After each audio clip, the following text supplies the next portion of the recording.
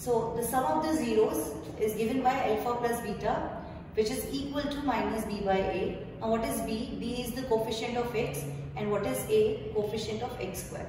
Similarly, the product of the zeros is given by alpha into beta which is equal to c by a. c is a constant term and a is the coefficient of x square.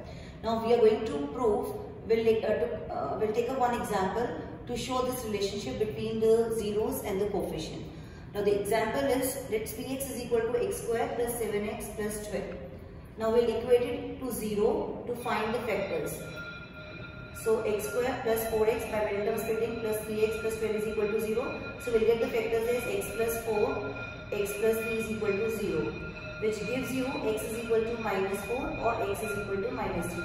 So the two zeros of this polynomials are minus 4 and minus 3. We'll find out the sum of the zeros.